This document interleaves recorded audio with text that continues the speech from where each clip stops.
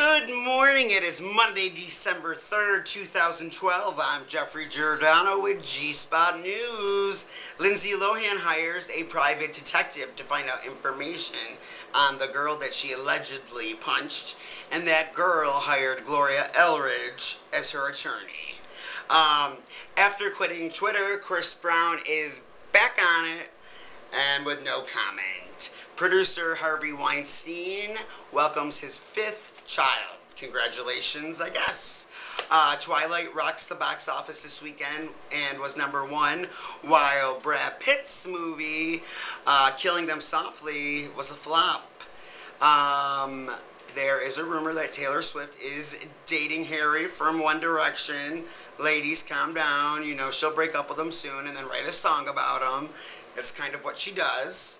Um, tonight on TV, we've got the Redskins, we've got The Voice, we've got Blake Shelton's um, Not So Family Something Christmas. So it's going to be a great night for Monday Night TV. Uh, 20 years ago today was the day the first text message was ever sent out. And that text message said, Merry Christmas. Um, Crystal Harris and Hugh Hefner are set to wed again on New Year's Eve. Let's hope that she doesn't get cold feet.